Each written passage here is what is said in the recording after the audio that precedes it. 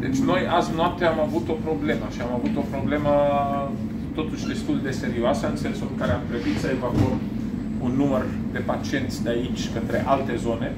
La București era la limită și uh, după discuții cu domnul ministru Tataru, cea mai bună soluție care, care uh, am găsit-o este să începem să implementăm soluția care a fost adusă în țară și anume aceste tiruri Putem și să suplimentăm paturi în interiorul spitalelor, dar nu toate spitalele au zone în care să mai pui paturi de terapie intensivă cu toate instalațiile.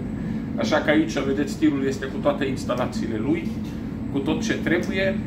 Ei pot să pună pacienți și pentru ventilație, cum zicem noi, neinvazivă, adică pacienți care au nevoie de suport, dar nu neapărat întubați, dar cu asistența aparatului de ventilație, vedeți ventilatoarele aici, și pot și să ventileze invaziv, adică cu pacient întubat, ventilat, exact pe orice secție de terapie intensivă.